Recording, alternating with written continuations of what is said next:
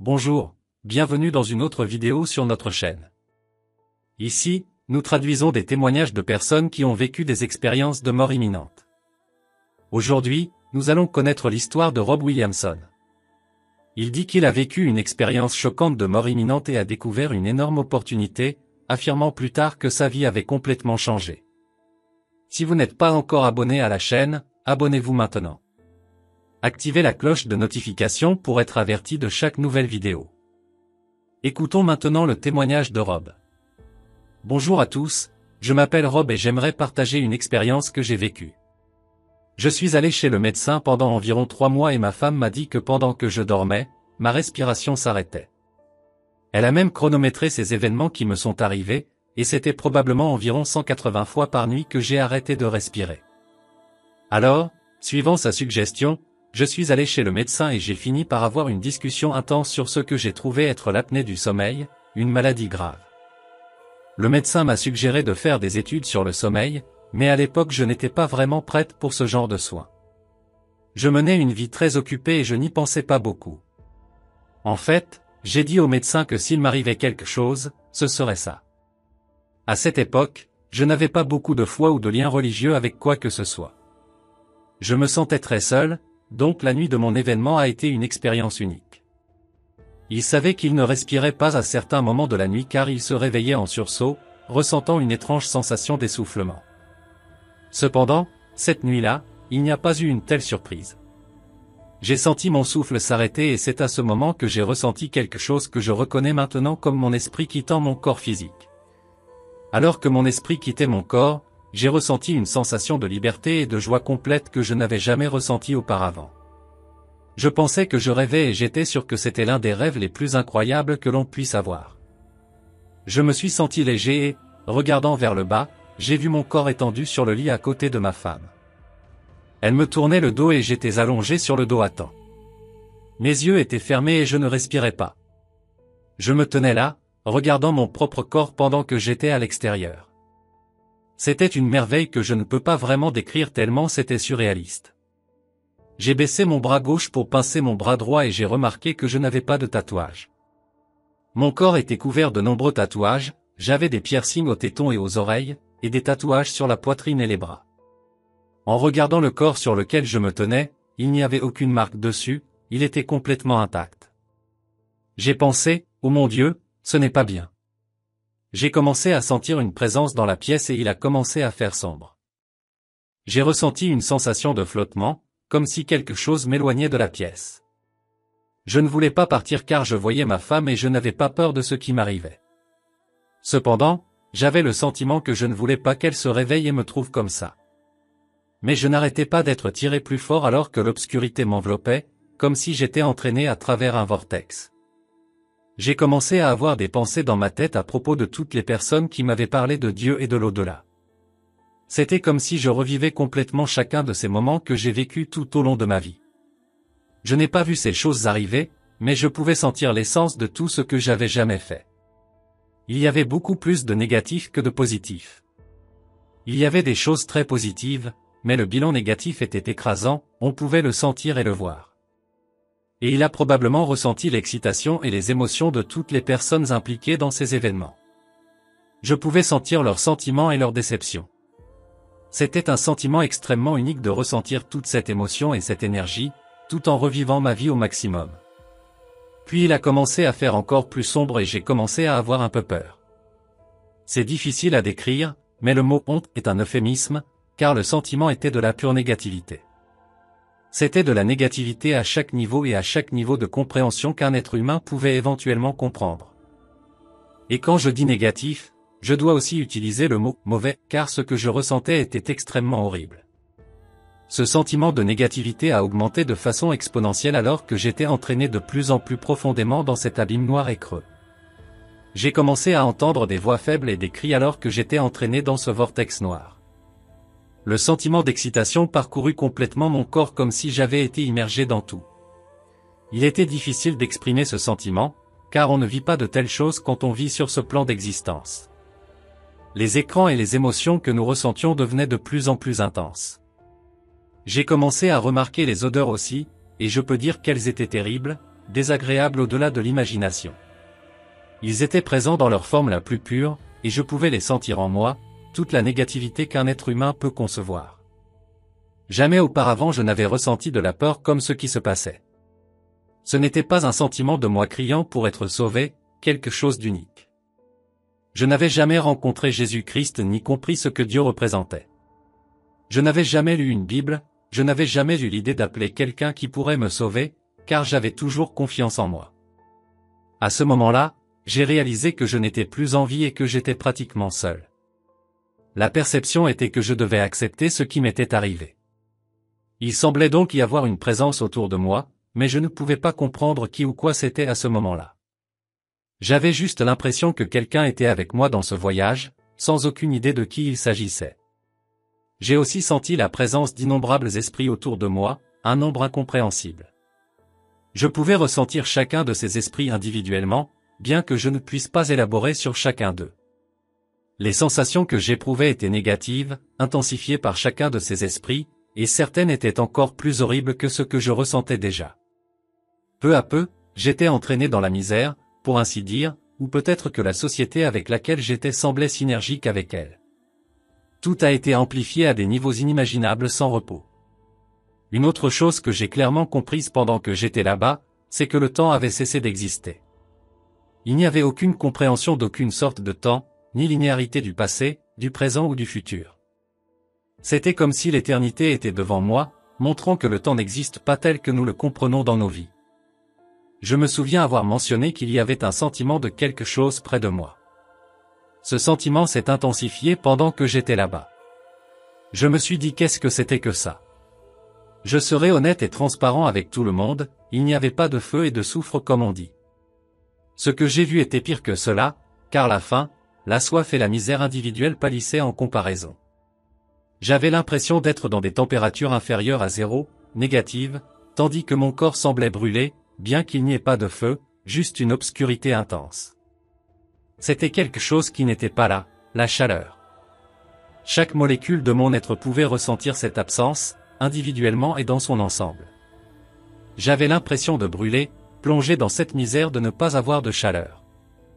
Je me suis parfois demandé si c'était ainsi que les gens parlaient de brûler en enfer, mais pour moi c'était plutôt l'absence de chaleur et de lumière qui provoquait un tel tourment, comme si j'étais pris au piège dans le congélateur sub-zéro, mon corps s'échauffant et brûlant. Dans cette obscurité totale, je ne pouvais rien voir. Les odeurs, les sons, les cris. Il était là, disant à haute voix, Je suis là, je ne peux pas mentir.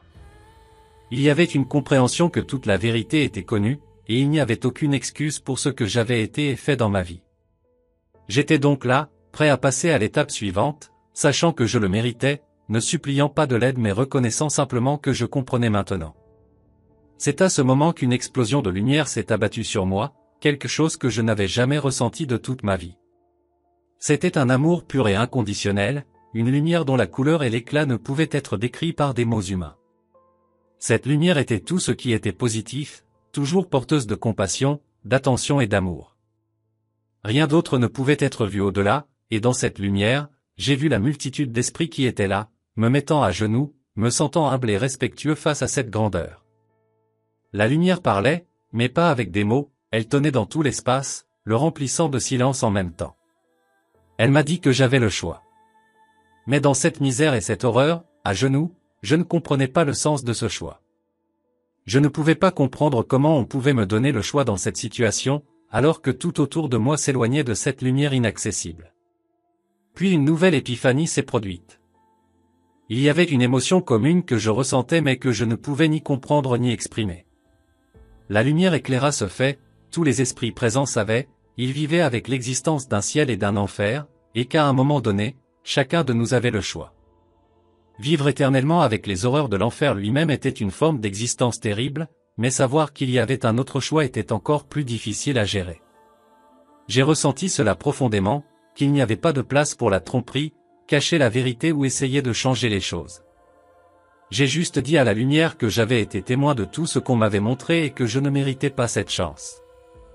J'ai fait un pas en avant, et la lumière, si vous pouvez l'imaginer, est devenue encore plus brillante, remplie d'un amour qui remplissait de plus en plus cette existence autour de vous, me choquant encore plus dans son immensité. Encore une fois, la lumière a déclaré, oui, vous avez la possibilité de faire un choix ici. Je me suis tenu là et j'ai encore dit à la lumière, je comprends, mais je suis ici pour une raison, tout comme tu es ici pour une raison. Cependant, le regard dans mes yeux ne me permet tout simplement pas de faire ce choix. C'est alors que la lumière m'a dit de regarder à gauche, et c'est ce que j'ai fait. Là, au milieu de cette horrible scène, se trouvait une jeune femme. Au centre de toute cette horreur se trouvait une pelouse ronde. Je pouvais voir chaque brin d'herbe, dans toutes les couleurs et nuances de vert imaginables. Il palpitait de vie, m'émouvant et m'attirant dans cette lumière que je ne pouvais pas affronter. Pendant que tout cela se passait, je criais dans ma tête, m'enfonçant de plus en plus profondément dans cet abîme d'incompréhension. Et je ne comprenais pas pourquoi j'étais témoin de tout cela. Et il y a une fille qui a l'air d'avoir environ trois ou quatre ans, essayant de m'influencer avec cette lumière, et je ne comprends pas. Je l'ai regardée et j'ai pensé, vous savez, elle est si belle, si angélique, tout simplement parfaite. Je lui ai dit non, que je ne méritais pas la lumière, ses gestes et ses mouvements. Mais ses pensées me submergeaient. Elle a juste dit que j'avais besoin d'entrer dans la lumière, que c'était l'opportunité d'une vie. Je l'ai regardée et j'ai senti la lumière sur moi. Je me suis dit, eh bien, à ce stade, j'ai vu et ressenti plus que je ne pourrais jamais l'imaginer. Alors j'ai fait un pas vers cette lumière. C'est à ce moment-là que je me suis immédiatement réveillé dans un lit, en criant que je sentais Dieu, c'est ce que je criais. J'ai fait sursauter ma femme, qui a sauté du lit. J'étais pâle et j'avais des sueurs froides, tous les muscles de mon corps étaient tendus, j'avais soif, ma bouche était extrêmement sèche. Je me sentais déshydraté et je ne pouvais pas comprendre ce qui s'était passé, ce que cela signifiait. Je suis sorti du lit et je suis tombé sur le sol. J'ai rampé, ma femme essayait de me suivre et je lui criais littéralement de s'éloigner de moi. Je ne comprenais pas ce qui se passait. À cette époque, nous ne nous entendions pas très bien et elle s'est éloignée de moi parce que je n'étais pas une très bonne personne. Elle ne voulait tout simplement pas discuter avec moi, elle n'avait aucune idée de ce que je venais de vivre. Je me suis glissé dans la chambre de devant, où il y avait une bouteille d'eau de 5 gallons que nous avions embouteillée. J'ai réussi à la rejoindre et lui ai tendu la main. Il y avait encore environ un quart de la bouteille dedans. J'ai mis ma main dessus et j'ai tiré de tout mon poids, faisant commencer l'eau à remplir le plateau en dessous et à s'écouler. J'ai incliné la tête vers l'eau et j'ai bu chaque goutte que j'ai pu. Le sol était inondé, le tapis trempé, et je n'arrivais pas à me redresser, mon corps recroquevillé dans cette position pendant une heure, dans une sorte de position fétale élaborée. Je ne pouvais pas bouger, je ressentais juste des crampes et une douleur intense. Ma femme a donc dû se lever pour aller travailler. Elle était toujours dans le salon, essayant de me parler, mais je ne voulais pas en parler. Plus tard, elle m'a appelé et m'a demandé d'aller chez le médecin, et j'ai fini par y aller. J'ai gardé ça caché à l'intérieur de moi, ça m'a laissé quelque chose de très unique. J'ai eu une sorte de téléchargement, si vous pouvez l'appeler ainsi. C'était comme si mon vase était vide et que quelqu'un l'avait rempli d'une quantité incroyable d'informations. J'ai commencé à lire et à m'intéresser aux choses liées à l'humanité. J'ai même pris une Bible et j'ai commencé à lire du premier au dernier mot. Je n'ai pas arrêté de lire la Bible, parce que tout avait un sens pour moi, je comprenais tellement de choses différentes. Il y avait un sentiment d'empathie, d'attention et de compassion que je n'avais jamais ressenti auparavant de ma vie. Au fil du temps, la petite fille que j'ai vue ne me quittait pas. Il y avait quelque chose chez elle que je n'arrivais pas à surmonter. J'ai appris à prier, à invoquer une puissance supérieure et Dieu. Alors j'ai commencé à prier un peu. Et je n'arrêtais pas d'entendre cette voix qui disait, Tu sais qui est cette fille, tu la connais, tu sais qui elle est. Et cela a duré nuit après nuit, pendant des mois. Je n'ai tout simplement pas reçu de réponse. L'une des choses que je dois vous dire, c'est que j'ai été baptisé après cet événement, et cela a changé ma vie. Mais une partie du processus consistait à abandonner les choses qui étaient en moi, à les faire sortir et à dire la vérité à quelqu'un là-bas. Je n'ai pas honte de faire face à la caméra et de dire à tout le monde que je suis un meurtrier, un adultère, un voleur, que j'ai pris le nom du Seigneur en vain, que je suis le péché personnifié. J'ai intériorisé toutes ces choses, et quand je dis que je suis un meurtrier, ne le prends pas mal. Je ne veux offenser personne, je comprends juste que ma femme, avec qui je suis marié depuis 27 ans, est ma meilleure amie. Environ quatre ans avant cet événement, elle est tombée enceinte et nous étions ensemble. Elle a pris sa propre décision sur ce qu'elle voulait faire, et je n'ai pas fait d'objection à cette décision. Elle a choisi d'interrompre la grossesse, et j'ai vu cet enfant qui aurait pu l'être. C'est intéressant de vivre une vie et d'avancer toutes ces années, en comprenant qu'on m'a dit que l'esprit humain est éternel, et même ceux qui sont artificiellement éloignés ont une chance ou sont toujours pris en charge. Ils sont pris en charge de manière très parfaite et ils vivent une vie parfaite.